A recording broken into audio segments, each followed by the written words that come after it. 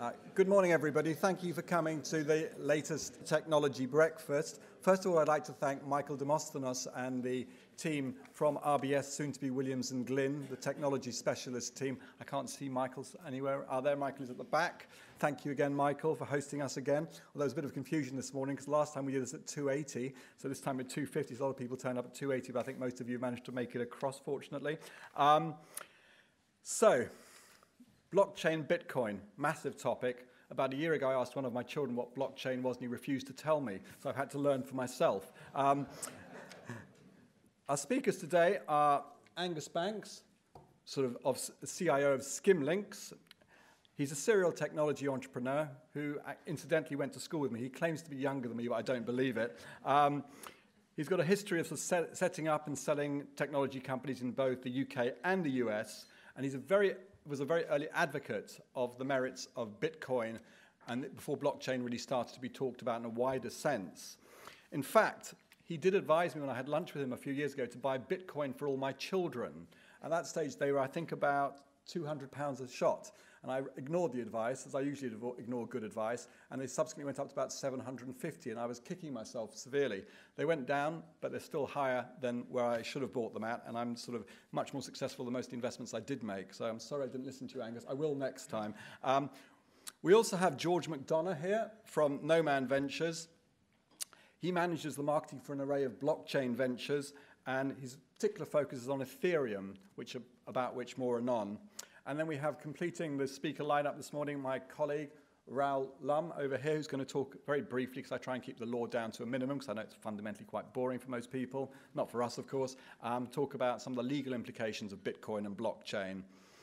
Um, yeah, people think still sometimes when I talk to them or start talking about blockchain, I think this is some sort of geekish obsession. Well, in view of the fact that last year there was over a billion dollars invested by American VCs and Bitcoin ventures, I think that's no longer the case if it ever was. So it's a very serious topic. The only slightly worrying aspect from my point of view is smart contracts, which are effectively self-executing contracts or self-executing contractual provisions that operate via the blockchain, which could theoretically eventually make me and Raoul over there, more, more worry for him, redundant. But as you'll see from the booklet on your chair, I think we're safe for a while yet. Um, we'll take questions at the end, and at which stage we'll have some further networking and a lot more patisserie to be consumed. So I'll hand over to Angus and George, who are doing a double act to start with. Thank you.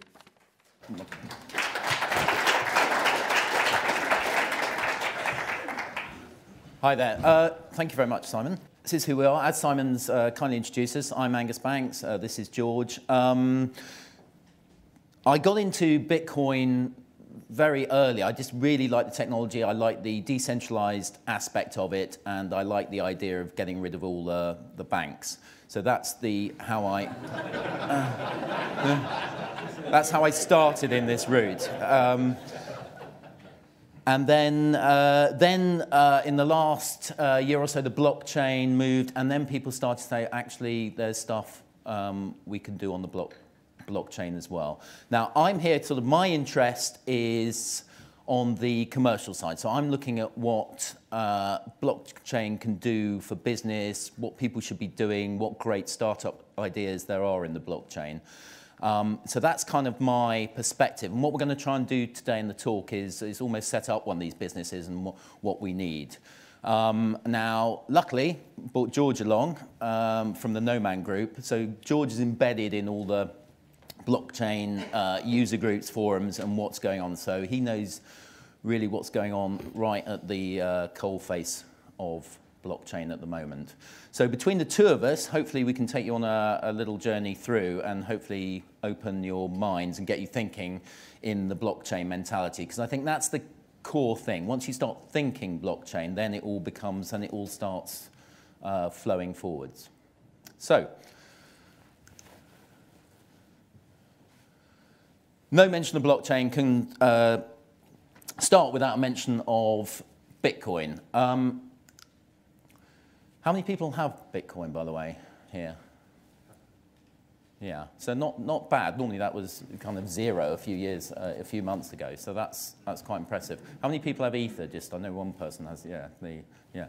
Right, um, Bitcoin, you've all heard of it. It was the first cryptocurrency that, that smashed forward. It's got this uh, legendary founder, Satoshi Nakamoto. Nobody knows who he is. It's a group or whatever. I'm sure you've all read the um, papers. But that, uh, strangely, has not affected anything about Bitcoin. And it's gained massive popularity. And what, why is because of these.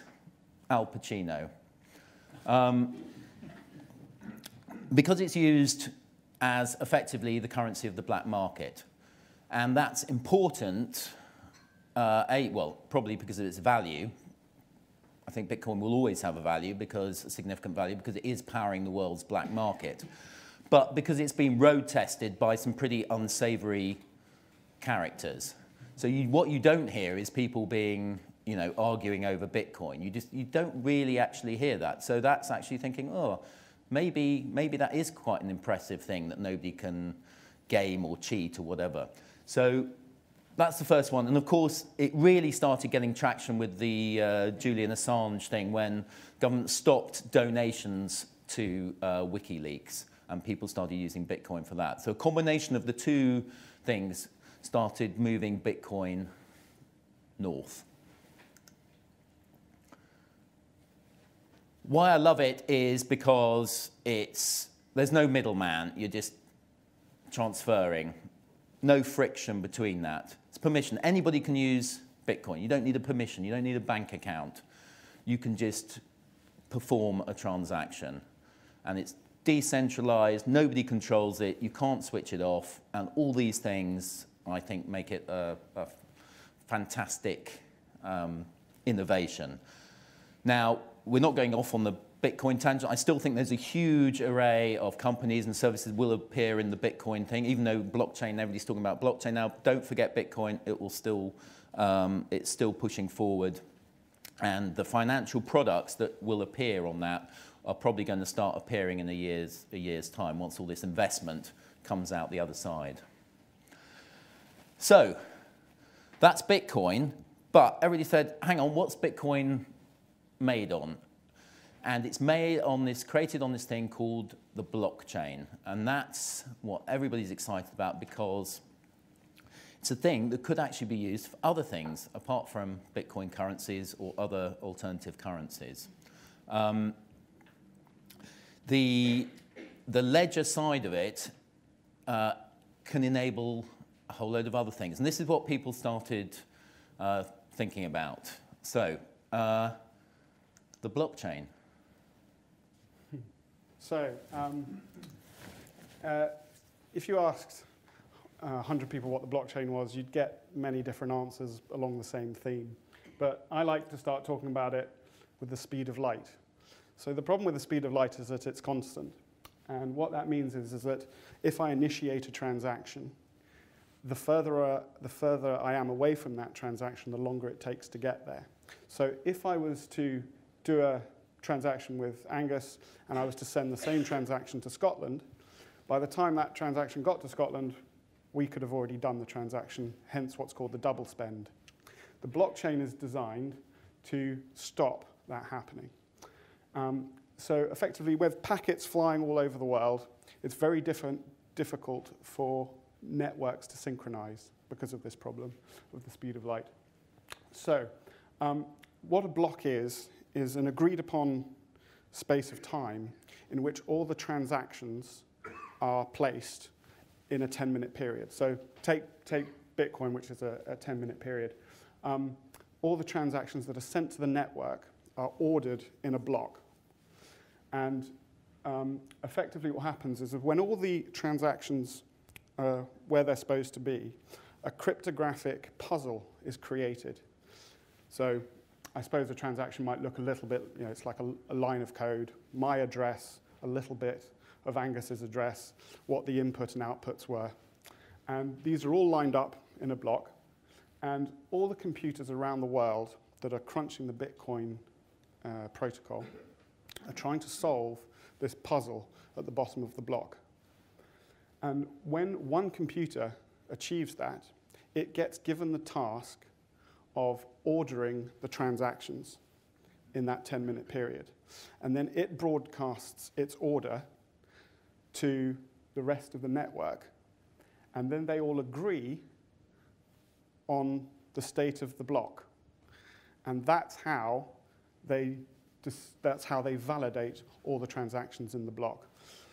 Little tricky, but bear with me. So um, the fees, each transaction has a fee, and the fees fall through the block and end up in the wallet of the computer that solved the cryptographic puzzle, thereby rewarding the miner for having solved the puzzle and therefore validating all the transactions in the block. Those, that block is then added to what's called the blockchain, and that can be searched all the way back to the very first Bitcoin transaction. And then a new block arrives, all the transactions from the last 10 minutes go in, and the whole process starts again. So that's basically, that's basically how it works. It's, it's about finding consensus on what transactions were sent to the network in the last 10 minutes. And that's, and that's, and that's it. I Hope that made some sense.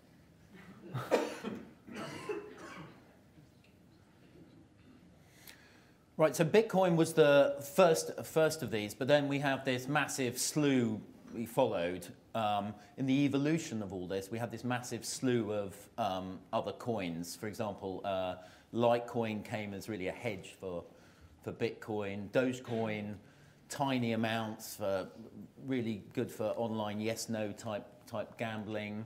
Um, I like folding coin. One of the problems with Bitcoin, and there's a statistic which I haven't validated, but I kind of like it, um, is that Bitcoin mining now consumes more electricity than the Republic of Ireland. Um, and you can kind of believe that. So folding coin is saying, well, if we're using all this energy and all this computing power just to solve cryptographic puzzles, then couldn't those cryptographic puzzles be protein folding or other such, perhaps more, more useful exercises?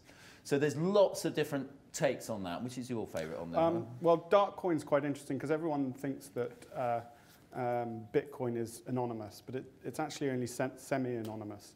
There's um, a whole array of technologies that have come through since Bitcoin that makes certain coins very hard to trace. Darkcoin has something in it called tumblers, and it, uh, it basically mixes addresses up. So the point, one of the things you can do in a blockchain is you can, you can uh, uh, search a transaction all the way back to its original um, entry point onto the blockchain. With Darkcoin, you can't do that because you get one step into where it was sent, and suddenly the address doesn't make any sense because the computer has mixed all the, address, the addresses up together. Um, so uh, even darker dark markets um, uh, are using this. And even now there's another one that's just come on the market called Monero, um, which I think the NSA are rather worried about. But anyway, I won't go into that. um, carbon coin is quite interesting. Carbon coin um, uh, is a, a pre-mined coin, so there's lots of them already in existence, but a large number of them have been given to a registered charity that plants trees. So as the use of the coin goes up, the amount of coins that this charity holds goes up in value and the more trees they can plant. So when we're all out um, buying our Lamborghinis, um, we, can, we can offset our purchase by paying in carbon coin, and we know that they're going to plant an amount of trees somewhere which will produce a huge amount of oxygen into the, on, in, into the atmosphere. Coloured coins is interesting. Uh, these are sort of, and this is really the, the lead into uh, what we're going to talk about next, because coloured coins had um, data connected to them. So your transaction was actually moving, starting to connect data to the blockchain um, in, in a fairly simple way with coloured coins, but things are getting a little more uh, involved now in the future, as we'll, as we'll say. There we go. Yep. There are those ones. Yeah, and those ones. um. So that's coins. Very exciting. We're, we're now moving forward in the blockchain. Now people are starting to think, are there any other things we can use the blockchain for? This seems rather cool. Um, and indeed there are. And then for the last year, year and a half, this is where the action's been. So um, take you through it, and this is particularly where I come from, is how do you set up your blockchain, your blockchain business? I've got a problem. Uh, how do I use the blockchain? Can it help? Could I base a whole business around it? What do I do? So I've come up with an example of aircraft seats. Very classic. I want to rent an aircraft. I want to sell the seats on a market. Very transactional. I want there to be one seat, one passenger. I want people to trust the whole thing. I want there to be a market so that people can resell these seats. Very straightforward business problem. Now, from what we talked about, you're looking at the blockchain thinking, actually, wouldn't this be great on the blockchain? Because you've got one seat, one sale, effectively. So it's a pretty granular example. There couldn't be a sort of better one, which is why we've tried to use this one here. So, great. I've got my, I've got my seats, 60 seats, say. I want to put them sale. Where can I put them? I want to put them on a blockchain. Now, what, there are various blockchains, like I could put them on the Bitcoin blockchain, which, which is fine, I could do that, but it would be a very straightforward service just buying and selling the seats. But I'd like, maybe there's more I can do with the blockchain, and maybe there's more functionality I can build into it. So the first problem is, well, what blockchain do I, do I use? I can't make, I could make my own one, but it's going to be very unlikely I can incentivize just to sell 60 seats, a big enough mining community around that who can justify that. The thing about Bitcoin, any mining on the blockchain, anybody who owns more than 50% of the miners can influence the decision. So you need a big distributed network, which is why Bitcoin works. So I'm never going to get the enthusiasm there to get enough people to mine uh, air traffic coin or whatever I want to call it. So what I need to do is outsource that to another, another blockchain. So give my problem and work to a blockchain. Now, we talked, I could use Bitcoin, but as I said, I, I want to do actually more, more than just trade the seats. I want to put the seats on and trade them, but there's other functionality I can use. And that's why I'm going to choose Ethereum uh, as my blockchain, which George so, Ethereum um, was the brainchild of this guy, uh, Vitalik Buterin, who's, who's, who's quite a no notorious figure. Well, he's yeah, he's the latest internet superstar in the. In um, the... Age 16, he was editor of Bitcoin magazine, and um, he came up with something called a white well a white paper for something called Ethereum, and uh, his plan was to to rebuild a blockchain from scratch using a Turing complete programming language. And he put the white paper out to the crowd, and the crowd gave him $18 million to make it happen, which was the fourth biggest crowd sale in history.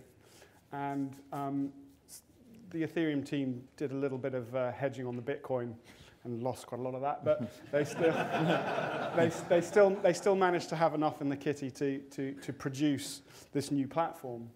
And what this new platform does, because it has uh, it's built in this language. It's a little bit like Apple. Apple creates a language, it sends it all out to the developers, and they all create apps using this language.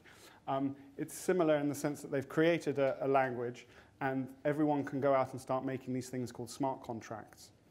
And I think we go one more on.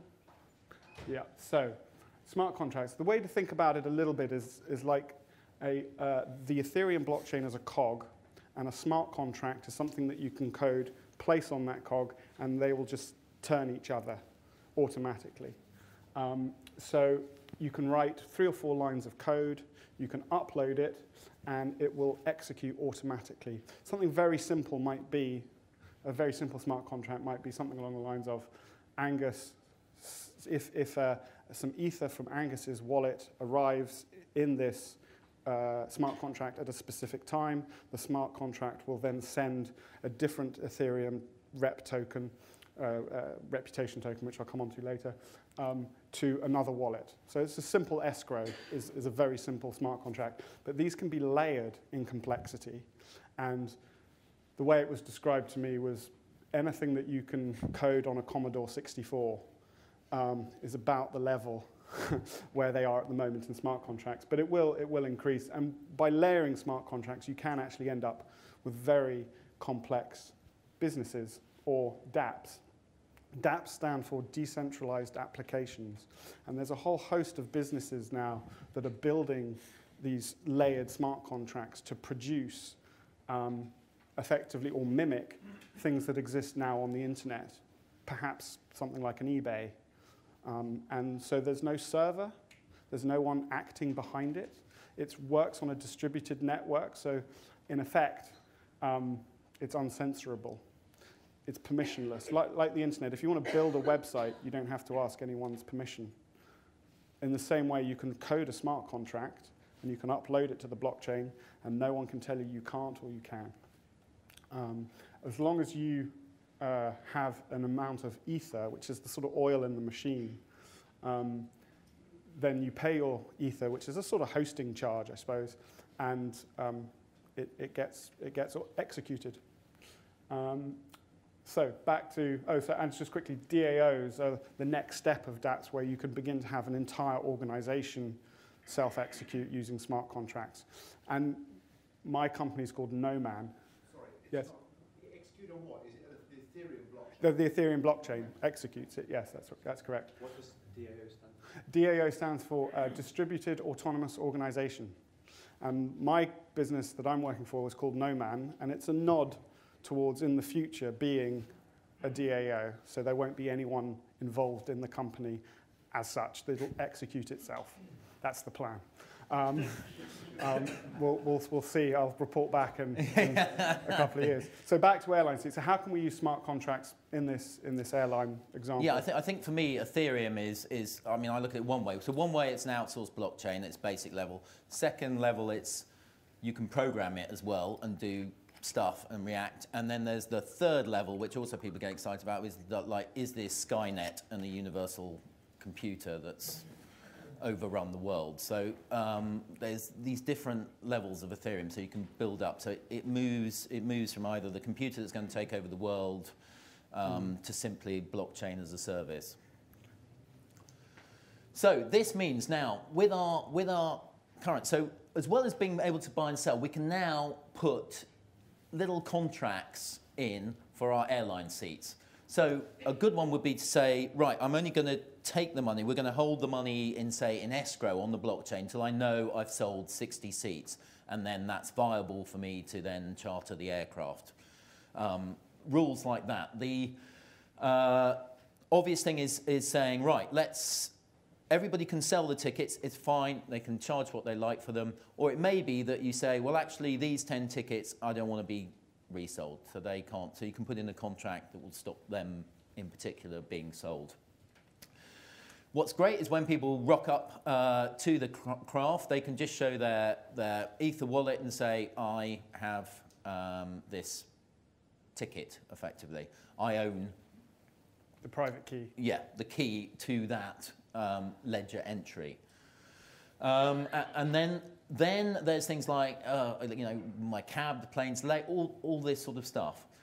Um, this one's really cool, and uh, I'm going to mention this later. Uh, unlocks your hotel, gives you a hotel key instantly, all that sort of stuff. When, it, when you book that ticket, then it will give you a hotel key automatically. The hotel hardware will unlock the room. We'll come on to more of that. But there's, there's a whole raft of things that can be initiated. But once, once we've done this, then you say, right, well, what's, what's telling me the plane has, has landed or taken off? And actually, at the moment, this is where you start getting into the blockchain mentality is, well, what is telling me that? Because the blockchain is great. It's a solid ledger, crypto, no sort of unbreakable. Um, but the weakness is, of course, any inputs into the blockchain. How, how are you getting that information that's saying trigger the flight has actually taken off. And this leads us down into, you think, right, well, I trust that source, but someone can source it. So this leads us kind of down an interesting rabbit hole, which blockchain also attempts to solve, which is making a blockchain of those, of those inputs. Um,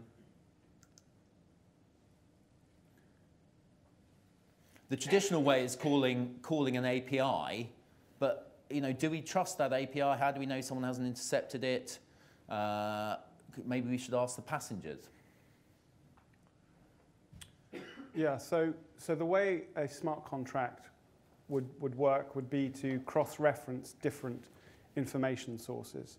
So you could have uh, the people who are on the plane, um, you could well, you can use smart contracts and GPS and things like that. Um, but, but moreover, you can just say, I'm on the plane. So that's one way of telling a smart contract that the, you're on the plane. The second one would be, you know, uh, Boeing tracks their engines. So you could have an API from Boeing saying the airplane is in the sky. And really what you're trying to do is you're trying to come, come up with as many ways as possible to show that the airplane is doing what it's supposed to do. Because as soon as you, because the smart, smart contract can't tell, it can only react to what it's told. So you come up with as many different ways as possible to ensure that you're getting the right information. There are probably going to be businesses that ensure on what's called the distributed oracle. So if the information that's put into the system is wrong and they're legally responsible, you will get insurance to, if you can prove that the information that was put into the smart contract was wrong. Um, so later on, I'll, come, I'll, I'll, show you an example of a, a, a DApp that's being used at the moment where they've pretty much entirely solved this problem. But I'll, I'll come on to that in a bit.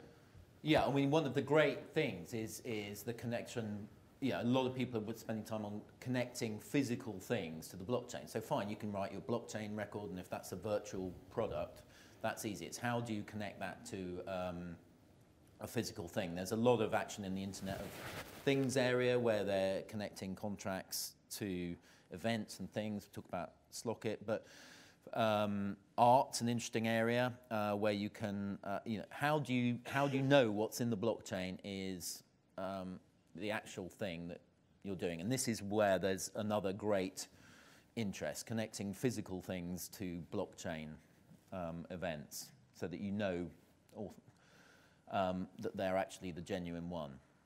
And once they're in the blockchain, that's fine, but it's how do you know what, what's gone into the blockchain? And it's the inputs that are, are very interesting. People are, are really um, thinking about them.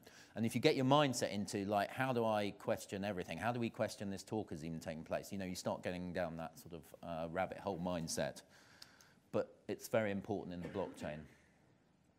So, um, here's some things that are actually using Ethereum. I mean, I'm quite like, I like Colony. I think that's cool. Colony is interesting because it, it um, is a completely new way of working. So normally what happens, someone comes up with an idea, you get a team together, you distribute some equity, and um, work begins. In Colony, uh, everyone comes together, everyone has nothing, and you earn equity over time by gaining uh, Ethereum um, tokens. So then I can then use those tokens to sell my shares in the business. So you have an entire open market whereby I'm effectively selling the uh, input that I put into that company.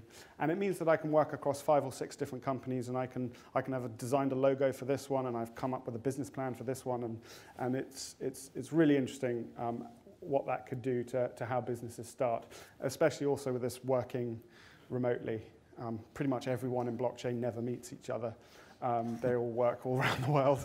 Um, and Colony is going to be a very interesting way of, of people working together. And that's actually a UK company, isn't it? Uh, yes, it is. Yeah, um, in, invented by the guy who made uh, Damien Hirst's um, um, Diamond Skull. Ah, right. Yeah. which is strange, but anyway. Fact. Uh, provenance is about traceability. So they're looking at the whole traceability uh, angle um, of goods. So, you know, this shirt, where did the buttons come from? And they're trying to, uh, they put all that information on the blockchain, but again, they have the physical problem of how they know those are the right buttons. So they're coming up with solutions as well to attach um, to the physical aspect of that.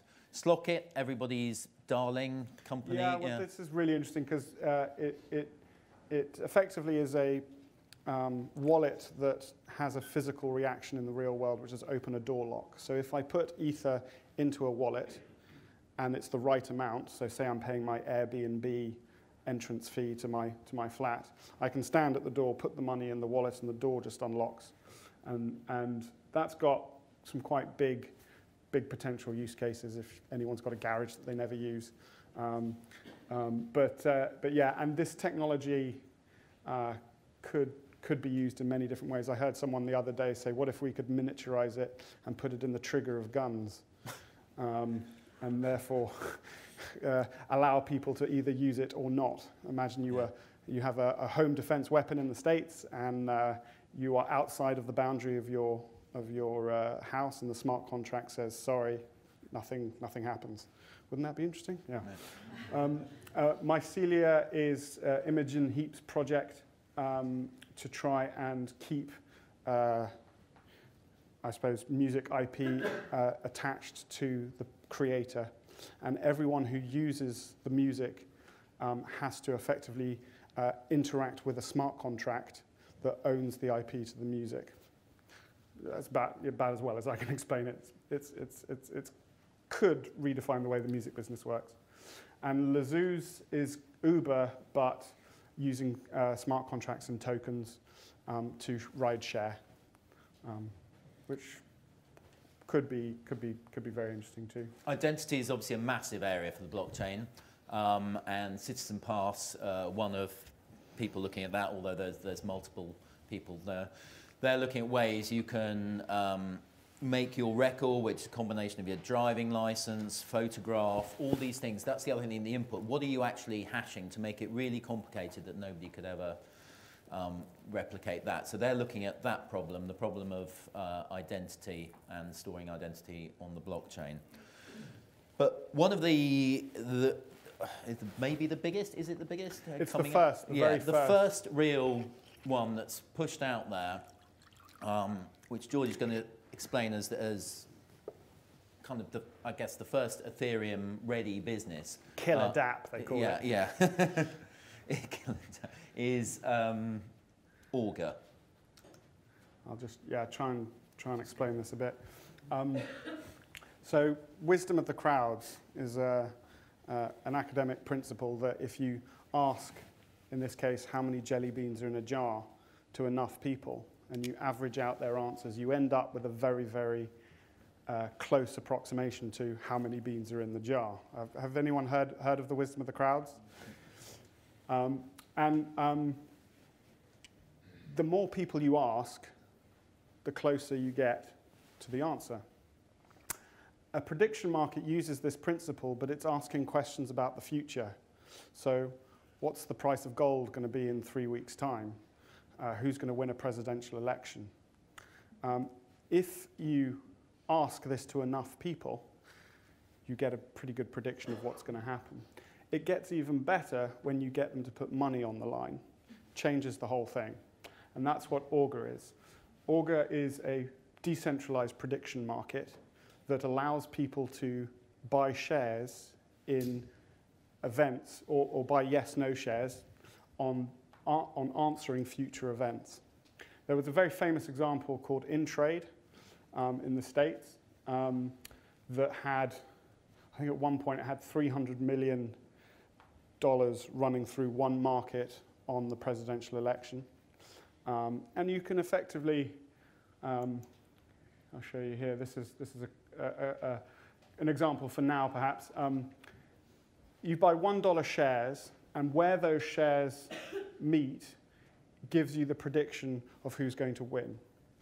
So in this case, who's going to win the Democratic nomination? The, the, the prediction market is saying it's 52% to Hillary Clinton. So the problem with Intrade is that it's centralized, and you have to trust Intrade with your money. First of all, you have to trust that they put in the right answer. So imagine, in fact, it did happen. Mitt Romney won a, won a caucus, and all the people who were betting that he wouldn't win um, uh, received all the money because the person within Intrade decided that, well, he rather wanted the other person to win. um, and um, um, I mean, yeah, uh, it wasn't quite as clear cut as that because, because there was an announcement that said Mitt Romney had won, but then there was a recount. Anyway, they didn't give the money back, basically. Um, and then uh, Intrade started gold uh, prediction markets. And the American regulations uh, came down like a ton of bricks, shut it down. Um, it's effectively creating a new information source for commodity pricing. And that's not, not looked, looked upon favorably. Um, so that's the problem with centralized entities. They can be shut down. Augur exists on the Ethereum blockchain, it is a collection of smart contracts that allows people to run prediction markets on any question anyone in the world can come up with. It's completely global, so the liquidity in these markets could potentially be huge. You could have hundreds of millions of people trying to work out who's going to be the president. And as we know, wisdom of the crowds, the more people, the closer you're going to get to the real answer. Also interesting about it is it's got zero platform fees. You don't have to pay to be on the platform at all. Um, uh, very similar to this would be something like Betfair. Betfair, as far as I know, has a sort of 11% fee structure and has to work amongst all the current regulations. Um, the market makers, so when you come up with a question that you want a, an answer to, then you set your fees. So it depends on who the market maker is that that the fees apply, essentially. Um, and if you can have many, many different, different markets all asking the same question, the ones with the smallest fees are probably going to be the most popular. So generally speaking, it's worked out at about 1%, 1% fees. The fees from the markets are split between the market maker. So as people buy and share, sell shares, I suppose the way to think about it is as, it, as we get closer to an election, people get a clearer idea of what's going to happen and they might want to sell their Bernie Sanders shares and buy Hillary Clinton shares. So there's a constant back and forth of share shelling and these create these fees. So 50% of the fees go to the market maker and the other 50% of the fees go to what's called the reputation holders.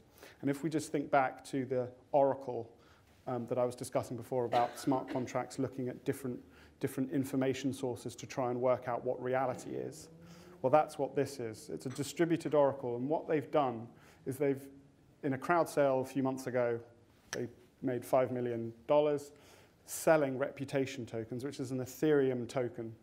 And the more reputation you have in your wallet, the more of the fees that you get from the platform.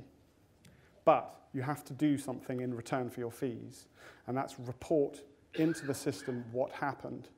So effect effectively make uh, markets resolved. So who won? The machine doesn't know who won. It needs to be told who won.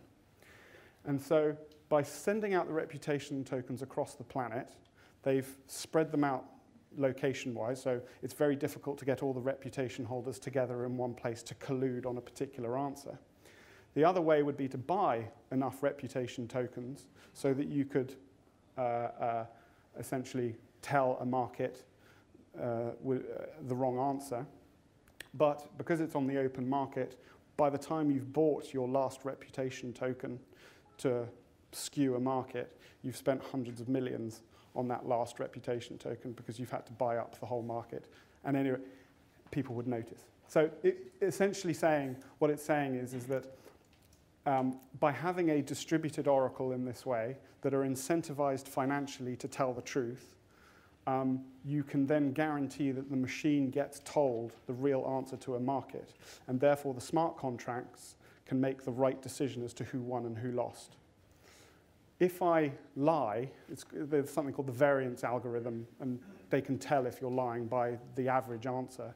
You lose reputation, so you lose money. If you uh, uh, stay within the, the, the mean, uh, uh well, so you don't lie, you tell the truth, um, you gain the reputation from those that lied.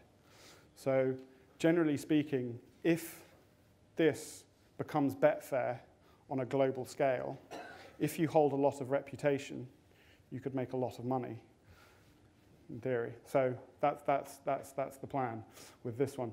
And um, what's interesting about it is because it's on Ethereum, because it's using smart contracts, it's uncensorable, and cannot be taken down, which I think is going to have some, some legal implications. um, there we go. Yeah, the, I mean, that's the key thing about them. You have to be very aware that you can't stop a blockchain, which is why I'm, I know, uh, for example, the bank's putting a lot of money in blockchain investigation, but are they really going to go down the route something they can't control, maybe a local blockchain, but not a real centralized distributed one because people may not understand that nobody controls these things and once they're off um, you know in theory they're off anyway uh, thank you very much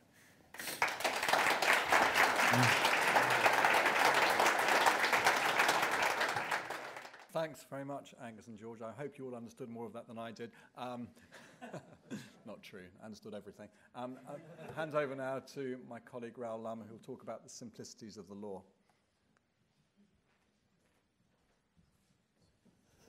So George ended with a great phrase there. Are there going to be any legal implications, he said? And the answer is just a few, uh, to be honest with you. So, look, I've only got 10 minutes, and I know you're a captive audience, and those doors are firmly sealed, but I'm going to go through this as quickly as I can. Um, the fun thing about blockchains um, for lawyers is that just as blockchains are for technologists, um, virgin snow, sort of a field in which no one's yet left any footprints, so they are for us. We don't really know what the law will be. Um, and I say that we don't know what the law will be. I mean, that's because there isn't any at the moment. Um, last night I did what every good legal speaker does before they give a talk, and I went on the internet to do some research. Um, and I went on, it's, it's not called Google, I went on to one of the big legal research databases and I decided to do a really sophisticated search. I widened the parameters out to be as wide as they could be. So I said everything in Europe, everything in the UK, statutes, um, case law, journal articles, everything. And I typed in the word blockchain to see precisely how much law we were dealing with.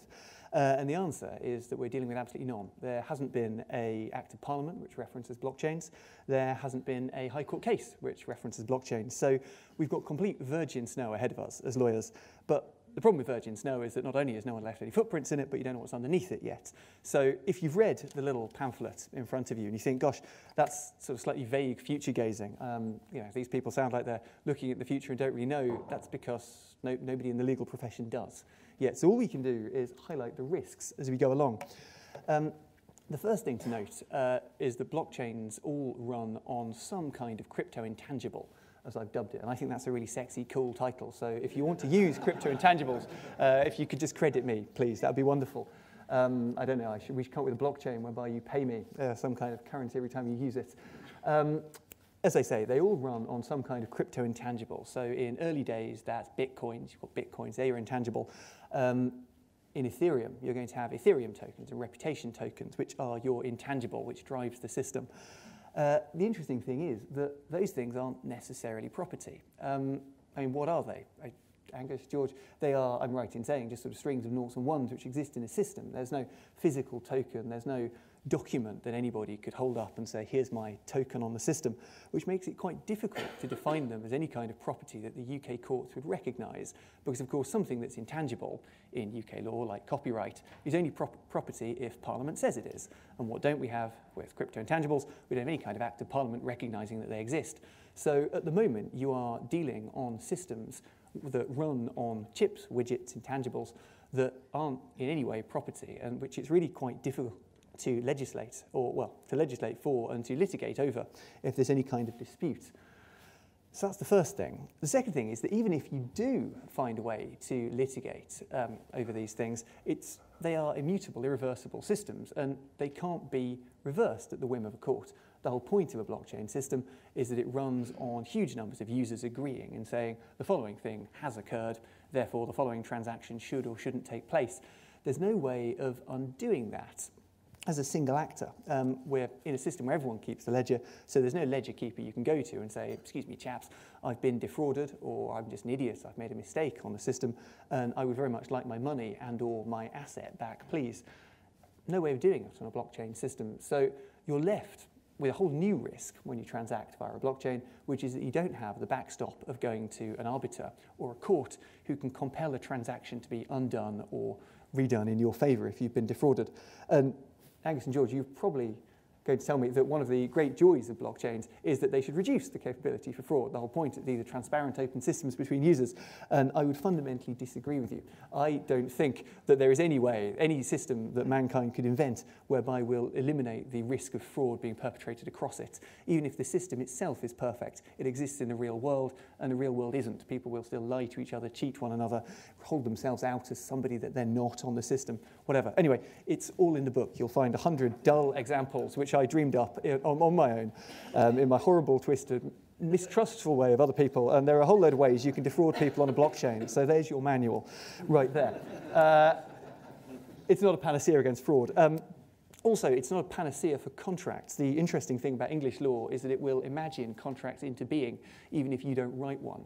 So where two parties in get, enter into a smart contract to sort of sell widgets in return for bitcoins, whatever it happens to be, UK law will imagine a contract into being, even if you haven't signed a paper document. So it's still there. Don't think for a minute that the other party, if they're not happy with the way that your smart contract works, if it doesn't work the way they expect or it doesn't work in the way they think is fair, don't think for a minute that they're bound into the smart contract and that the usual hidebound rule books don't apply. They do. They can go to court and they can sue you for their money back if they feel like it. So sorry, smart contracts, but like cockroaches, lawyers will persist, I'm afraid. Um, right. Well, yeah, data protection. Uh, the other thing that sort of strikes me about um, blockchain systems is that they run, the entire concept that underpins them is they run on open and complete ledgers of everything that's ever happened on the chain. That's why it's called a chain.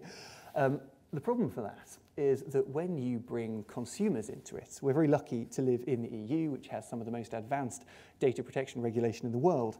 But the minute that we start involving individual consumers rather than B2B um, transactions, we have to protect their privacy. And it's quite difficult to do that on a chain whereby you're recording every transaction that every individual on it has ever made if we're naming those individuals how can we, and I know I talked to Gary the other day, who's frowning at me here from the front row, um, who said there are indeed ways that we can lock down ledgers so that only the people who matter can see various bits of the ledger that they need to see. I'm yet to see a system that works, but Gary, correct me if I'm wrong, that systems exist. But that is one of the big risks for blockchain companies. How do you isolate the ledger and keep consumer details from falling into the wrong hands where you're doing a consumer system without compromising the the function of the blockchain itself and stopping every system from seeing every bit of information that it needs. Do answers exist? Maybe they do. I don't, I, I don't know. Um, but that's the risk, and that's the thing to guard against. The other thing to guard against is that they are complete records of every transaction that's ever happened on a blockchain. And the EU, as you'll know, um, gives us a right to privacy, a right to be forgotten, a right not to have our data processed for any longer than is reasonably necessary for the transaction that we're engaging in. So it's quite difficult in a blockchain world to come up with some system whereby we're going to chop off the bottom of a consumer-focused blockchain every X number of minutes, if that makes sense to you, so that we're not holding consumer data for any longer than we need to. Is there some kind of encryption way of solving that? And I know we talked about dark coins earlier, tumblers, which might well be your way of anonymizing the data and making sure that data that goes back a certain amount of time um, is no longer relevant, no longer identifiable. But of course, the minute that we do that, we enter into a pseudonymous ledger, which brings us all the usual risks that dark coins and bitcoins bring with it, which is that we can't identify the parties anymore, and anybody acting on the bitcoin could be anybody in the real world, and we can use them for buying, selling services, which governments have been very clear that we ought not to buy. So there you go. And finally, I mean, and I'm, I'm keeping this short because I've got an eye on the time. The real risk of, um, the real legal risk for blockchains is that things might get legal. Because at the moment we have a system whereby the law of blockchain exists solely in the spaces in between other laws. Uh, we are looking at a future whereby there will be some kind of regulation for blockchain services. Um, and interestingly enough, there was a huge list of businesses a couple of slides ago. They're not slides, sorry, that's, that's a different thing. Uh, a few sort of acts ago in um, George and Angus's talk which gave a list of businesses. And as we ran through them, every single one of them, I think, rang some kind of alarm bell for me. Because just, well, it's what I do. I can't help it. I'm sorry. Um, because there are all sorts of acts of parliament which forbid all kinds of activity, which, while we can decentralize it and put it on a blockchain, doesn't make it okay. So, for example, we talked about collaborative working, the idea that there might be crypto securities on a chain. Hang on. Has everyone digested the word crypto securities?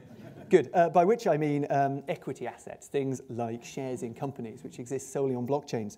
Um, if you're an incredibly boring person and you've got one standing in front of you, you'll know that the Companies Act in the United Kingdom forbids people from trading anything which looks, sounds, and feels like a share, but which isn't clearly labelled as a share and registered at Companies House. So if you have a UK company and you're allowing it to be controlled by widgets floating around in the ether, our crypto intangibles, if you're allowing it to be controlled by means of a blockchain a blockchain system and widgets we have on the blockchain, you may well find yourself in serious problems should Companies House ever get to learn of that. If these crypto intangibles are granting things like voting rights over a company, rights to appoint board members, rights to receive dividends, all the rest of it, because if it looks, sounds, and feels like a share, it should be regulated by a share. So think of that. The other one, we talked about um, gambling, uh, Augur over the internet. And it's, quite, it's all very well to say, well, it's decentralized and I can't be prosecuted at all for running Augur. But of course, if you're participating in illegal, unregulated gambling in the UK, or if you're making a market for unregulated gambling in the UK, no matter where in the world you happen to be based, you can be sure that the UK Gambling Commission will be all over that. And again, no prosecutions so far for Augur, I note. Um, that's probably because how many people in this room had heard of Augur before we walked in? One, two, three. Yep, that's probably pretty much the UK Gambling Commission's response at the moment, I imagine. So but I, I think as soon as they discover decentralized gambling networks on the internet, they'll be very interested not only to learn about that and prosecute it, but also to tax it, because of course that's what it's all there for. Um, so there we go. Anyway, the point is that in the future, the treatment of blockchain software is uncertain. We don't know what it will be. It could be it could be very favourable to business, it could be very favourable to consumers. But the real thing to think about is who's going to be doing the regulating in the future. It's highly unlikely to be UK Parliament because A, MPs aren't necessarily renowned for being wildly technical people, and B, because blockchains, as fascinating as we might find them, just aren't that sexy an issue for the public at large. So these are unlikely to get a great deal of time on the floor of Parliament in the chamber. Far more likely that the European Union will be doing the regulating because, of course, there is a whole arm of the European Commission dedicated to coming up with regulation for the digital space. And they will latch onto this. And the EU's usual treatment in legislative, legislative, legislative space is to be ruthlessly pro-consumer rather than pro-business. So it wouldn't surprise me if you are any kind of investor, any kind of entrepreneur going into the blockchain space to see rather more pro-consumer regulation uh, than you've seen in the past. Indeed, you haven't seen any regulation in the past, but expect some in the future. And it might not be the regulation that permits the wild west of decentralized networks in quite the way that we were hoping for. Um, that's all I have to say because that's all the law gives me to say at this present time. So I guess I will hand it back to Simon and we'll probably do questions in that case.